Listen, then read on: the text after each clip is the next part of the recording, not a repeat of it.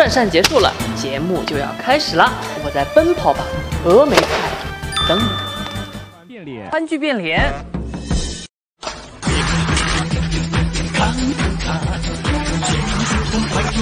好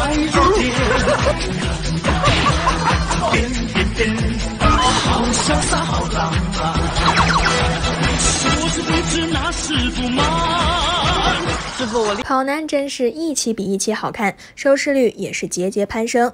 上一期收视率破三，最新一期直接破四，连续两期稳坐收视第一的宝座。跑男时第四期节目上线，既是武侠特辑，也是烧脑特辑。最后一波的狼人杀也是看得不少观众云里雾里的，始终没有搞清楚游戏规则。周深为了拜师，解锁了全新技能——另类变脸，引人大笑。开局就这么搞笑，周深在节目中真是放飞自我，越来越可爱。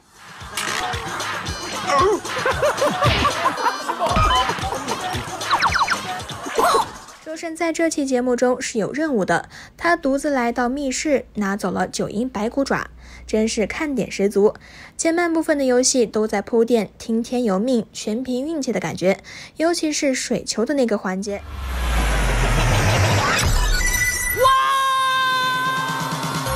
哇！哇！周深应该能能感觉到风，还有站起来的，有晃吗？这个球完全听不见。他不会是我打把他的球打过去了吧？是是你是你，哇哇！郭彦斌睡着了。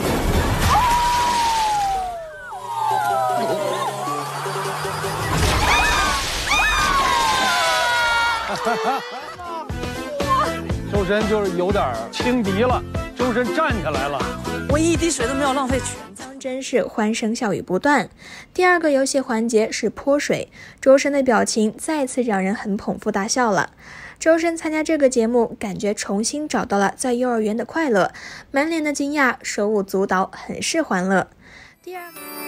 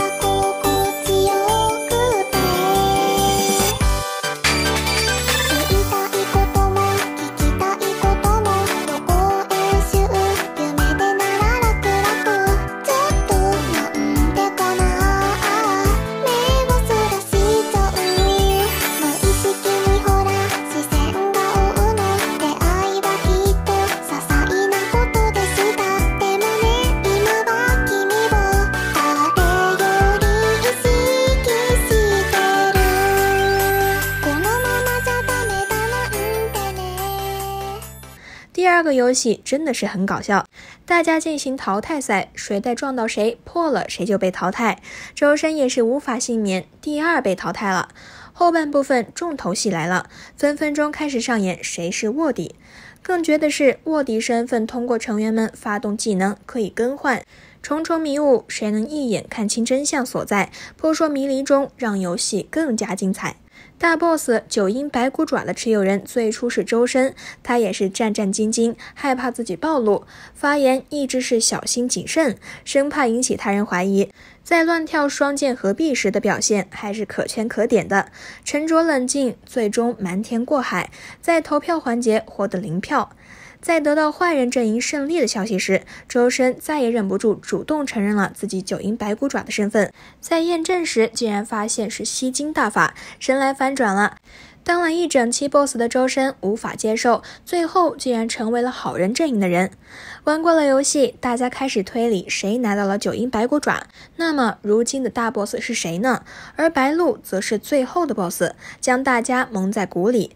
他鬼使神差般的和周深互换了身份，之后的发言顺着名好人蔡徐坤说。成功躲过了他人的怀疑，坏人阵营的此次胜利还有赖两位好人的相助，那就是周深和 Baby。他们直到最后才意识到自己的身份已然改变了。作为本季新加入的常驻 MC，白鹿和周深此次精彩演绎了爱情自有天意。